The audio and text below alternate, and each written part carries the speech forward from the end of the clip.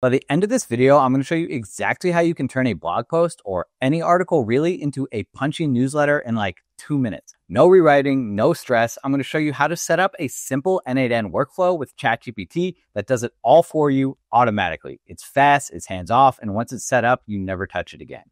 If you've got content and an email list, this is a no brainer. Let me show you how it works. I'm going to show you exactly how you can take a database like this and turn all of these into newsletters really easily getting Google Sheets, setting the URL, getting the article with the HTTP request. The code is extracting the body of the article. This is now turning each one of those into the newsletter format. Once this is done, it's going to save each one of those articles to the appropriate row inside of Google Sheets. This is done. And now you can see we basically have three different newsletters all ready to go. If you want to get access to the automations we can build today, maybe you can improve on this. Just hop into my community called the Build Room. This is basically for content creators and business owners who want to make more money, attract premium clients, build your personal brand, and things like that.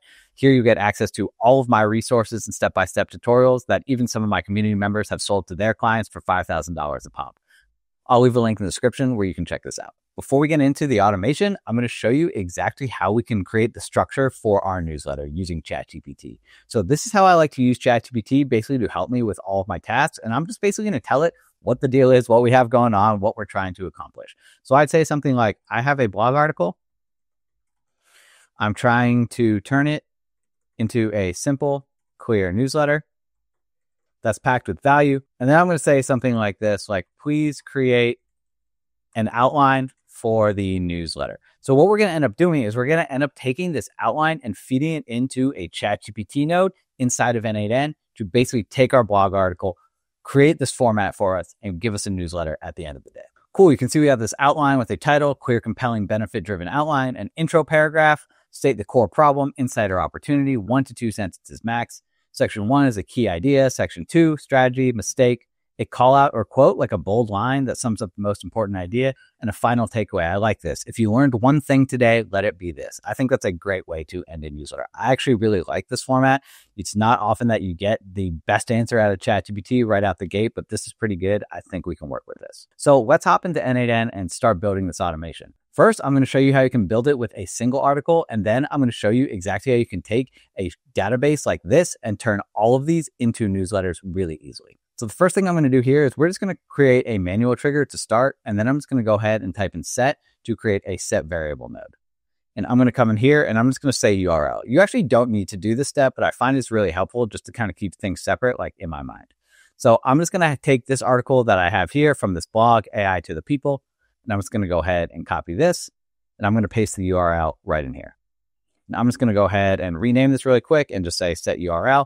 So it's really clear what we're working with. Cool. So the next thing we need to do is we basically need to extract the text from this article. So I'm just going to come in here to an HTTP node. I'm going to select get, and I'm just going to execute the previous step. And now you can see we have the URL here. And what we can do is we can literally just drag this over into the URL field. And I'm going to click execute.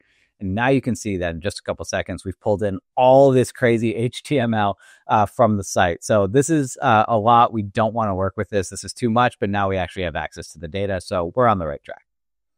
There's a couple different ways we can process this. One is using AI, which is going to use some of your tokens if you're using ChatGPT. The other way is using a code node inside N8N, which is a little bit more technical, but doesn't cost you anything. So I'm going to show you how to do both of these. Let's start off by using the information extractor, which I think is a pretty powerful node that's maybe a little bit underutilized.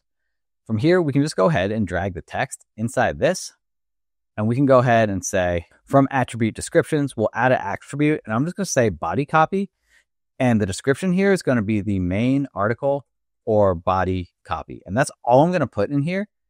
And I'm just going to go ahead and that's really it. And we just need to add a model down here. And I'm going to say OpenAI. And I'm going to come down here and select my account. This is really easy to set up. If you need to create a new account, just come in here, go to create new credential, grab your API key from platform.openai.com. Why don't I just go ahead and do that right now just to show you how easy it is. If you're logged into your account, you can just come up to the settings up here and on the left hand side, come into API keys, go ahead, click create new secret key, name the key whatever you want. Just go ahead this, and now you have a new secret key that you can basically copy and paste right here into N8N, and you have a new credential all set up. Make sure you have added some money to your account, otherwise, you won't be able to run this. Cool. So now we're all set up here and I'm just going to go ahead and click execute step and see what we come out with. This will take a little bit of time to run because basically the AI is processing all of that HTML and is creating an outline and it's, and it's coming back with the body copy. Now, my guess is this is actually too short based off of what this article is. I think we're probably missing some things. So why don't we just go ahead and update this description here? I'm just going to say the article text and see if that's going to give us everything. Cool. This looks a lot better to me. This looks like we have everything that we need. So this is a great starting point. Let me show you really quick how you can also do this with code, although maybe it's a little less reliable. It's going to go ahead and detach this for now. What I'm going to do is I'm actually just going to come back into ChatGPT and I'll just create a new chat just to make sure we have something fresh. I'm going to say, I'm in N8N. I need JavaScript code for a function designed to extract the article content from HTML. Let's go ahead and see what this comes up with. Great. So this is basically looking for common article containers, which basically just means that like when it sees this in the HTML, it's going to know that we started the article. And let's see what happens if we go ahead and just copy this and we come into N8N and I'm just going to go code, go here, paste this in. Let's see what happens if we click execute. Sometimes this works first try. Sometimes you need to have a little bit of back and forth. So we can see here, please return an array of objects, one for each item you would like to output. So we can just come in here, come back to ChatGPT, paste this in. This is just going to adjust this a little bit just to give us a different output format. So I was actually trying this earlier and I found code that works. So I can just come in here and just like, this is the code. I'm going to copy and paste this in. And I'm just going to show you the conversation that I had really quickly so you can basically see what happens. So this is the thing I said, use function node with regex. And maybe that's the thing that I was missing in the other example. Now I'll basically just come in here just so you guys can see, because maybe this is educational for all of us, myself included. I'll say this code was working. What's the difference? So this working code uses regular expressions to match and extract specific HTML containers, while the previous example uses Cheerio, which I don't even know what Cheerio is or a DOM parser, but basically one of these works and one of these doesn't. So we want to make sure that going forward, if we're going to do stuff with HTML, we want to use this regex kind of type expression type. So we can come in here. Now, if I click execute step, now we can see we've actually extracted the entirety of the article, we do have a little bit extra, like we can see excited, happy, in love, not sure, some emoji stuff. And I think we have some information about the author up top, and that's actually going to be okay for what we need. So I'm just going to move these out. It's really, I'm going to leave these both in here. If you want to get access to the automations we can build today, maybe you can improve on this. Just hop into my community called the Build Room. This is basically for content creators and business owners who want to make more money, attract premium clients, build your personal brand, and things like that.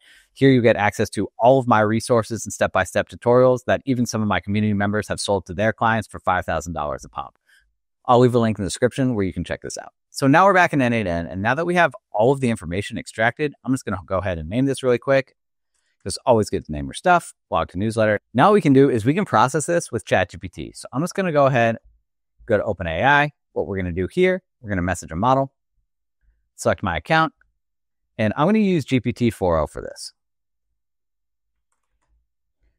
Go ahead and select this. And I know I'm going to need two messages, a user message, and I'm also going to need a system message. For the prompt, I'm just going to say, here's the article. And go ahead, change this to expression and drag this in. And now what we need to do is basically we need to turn this outline into a prompt for ChatGPT. So I'm going to say, I need a prompt for an AI agent. Its task is to take the incoming article, identify the most important high value, high impact moments, and turn it into a newsletter in the above format. Go ahead and click enter and let's see what this comes back with. You're a content distillation expert, fancy word. Your task is to analyze the incoming blog article and extract the most valuable high impact insights, create a clear, concise newsletter using the structure below, prioritizing clarity, utility, brevity, et cetera, et cetera. And so it gives us a little bit of the formatting that just came up with. Output only the final newsletter. Do not explain output. Do not include explanations or analysis. That's this sounds good to me. I'm just going to copy this and now we can come in here and in the system prompt, I'm just going to change this to expression because I think it looks nicer and you can paste the formatting. Now we've just pasted this in here. And so now if I go ahead and click execute step, this is going to run through and it's basically going to process the article and then apply all the newsletter formatting that we created with ChatGPT.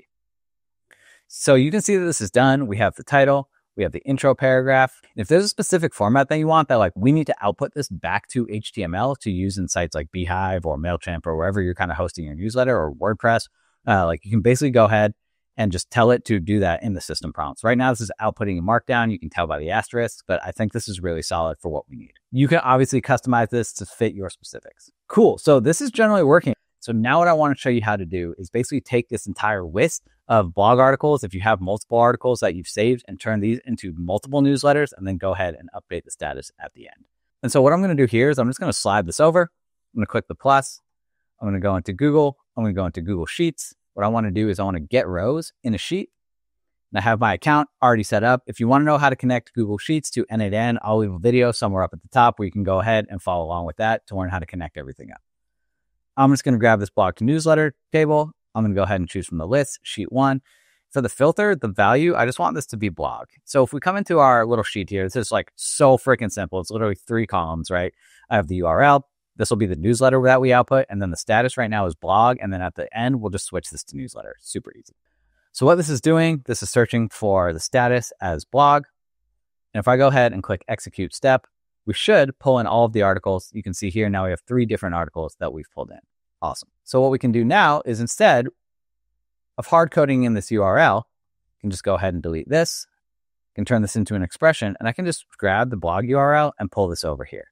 So now if I go ahead and execute step again, we should have three items. And basically this is just going to run through one at a time till we have everything that we need. And just so we can test this once, I'm going to go ahead and add an option, just do return only first matching row just turn this on. So basically, this is only going to return one at a time. So if you really wanted to, like if you were doing this multiple times and you were auto publishing to your newsletter, like you could set this to return only one and like run this on a schedule like three times a week or one time a week, whatever your schedule is for your blog.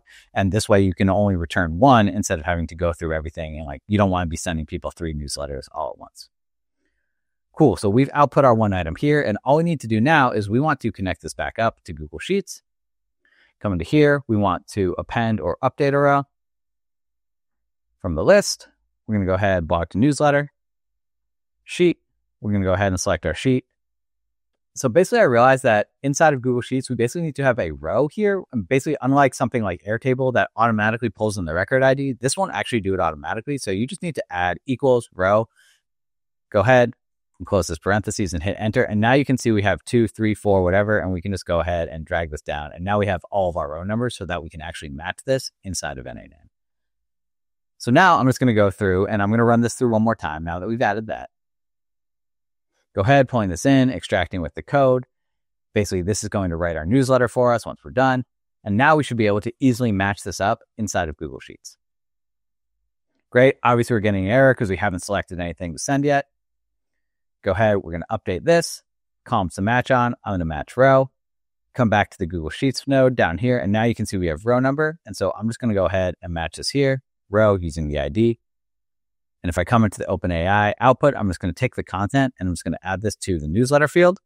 And then I'm just going to update the status to newsletter. Awesome. So if I go ahead and click execute step, should take a second to run. And if we come back in here now, you can see we basically have the newsletter that we put inside of Google Sheets. And this is updated to say newsletter right here. Cool. So I'm just going to revert back to what we had just so we can test all three of these at once. So if I come back in here now, I can go into Google Sheets and I can just turn this off and this will pull in all three of our options. So I'm going to go ahead and click save. I'm going to run this through. If I zoom in, you can see this is running. We pulled three items across. We're pulling three items across. And what I notice here is that this is actually outputting a single item from this code. It's basically combining all of the body text into one thing. And we actually need to make it work for each item. So I'm just going to go ahead and copy this code and we're just going to make a small adjustment. So I'm going to say this code is working, but it needs to work for run once for each item because basically I want to get three different items out the back of it. So let's go ahead. It's a really small adjustment. It's just going to change the input to input all so that it's going to support uh, kind of basically, um, you know, this field right here, run once for each item. So if I go ahead and do this, and now I click execute step,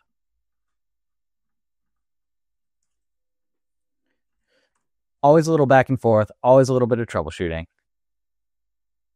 Let's try this one more time. I always tell people that if they're interested in AI and automation, troubleshooting is like 90% of the job. Cool. And so you can see here that we have all three of our articles separately split out. Great. This is what I'm looking for. So let's run this one more time. Come in here. getting Google Sheets, setting the URL, getting the article with the HTTP request. The code is extracting the body of the article, it's kind of stripping out all the other stuff. This is now turning each one of those into the newsletter format. Once this is done, it's going to save each one of those articles to the appropriate row inside of Google Sheets. This is done, and now you can see we basically have three different newsletters all ready to go. AI logo generators, unlocking creative freedom, harnessing AI to sim- simplify e-commerce branding. We've changed the status to newsletter. We're all ready to go. If you thought this video was interesting, please make sure you subscribe to the channel. Hop into the build room if you want to get access to all my tools and resources, and definitely check out this video up here if you're interested in learning how to automate all of your LinkedIn content. I'll see you over there.